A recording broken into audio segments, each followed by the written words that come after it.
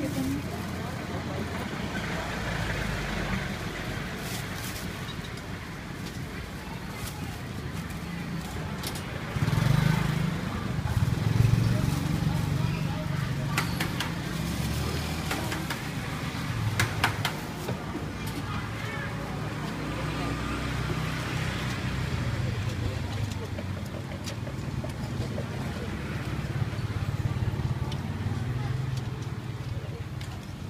អញ្ចឹងឲ្យអឺជនជាតិគេមើលទៅអីបងមកគេមើលទៅបើគេចង់មកលេងស្រុកខ្មែរយើងគេចាប់នៅនៅខ្មែរយើងមានអីខ្លាំងអញ្ចឹងទៅពេលគេមកលេងអញ្ចឹងទៅគេស្រួលក្នុងការញ៉ាំ